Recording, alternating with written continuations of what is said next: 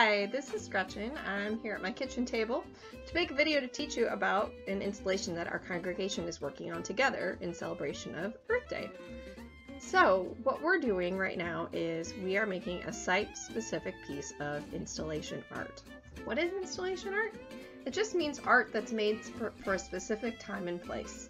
So our congregations come together over Earth Day, the days before it, to make a piece of art that is temporary and made of natural materials.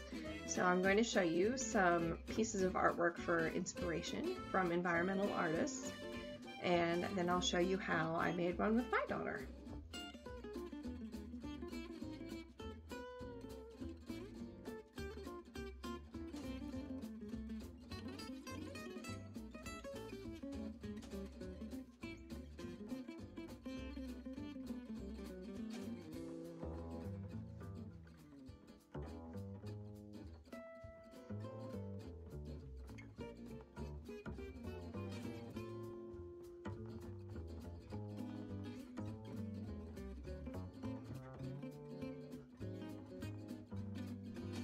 For our Earth Art installation, all the families in Greystone are invited to come to the grounds of Greystone and build their own little installation.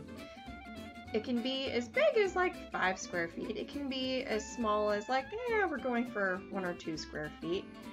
Basically, you have a good time gathering materials with your family. We're looking for all natural, biodegradable, or recyclable things that are not going to harm the grounds of Greystone and you gather things and you bring them there and you can build a piece of artwork with your family.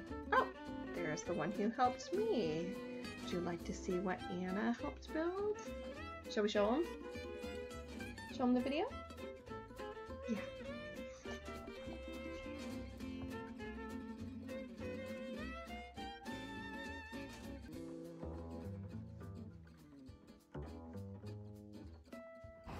All right, you're on, Anna.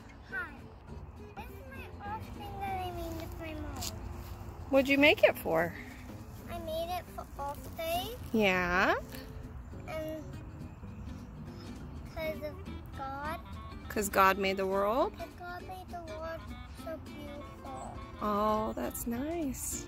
Can you tell us about all the things that are in your earth art? What'd we pick? Flowers and pie cones and leaves. Oh. And sticks. Do we take anything from anybody else's yard or hurt anything? No. No. So where we're building this is out front of our church. So the side of the church that has the Greystone Baptist Church side.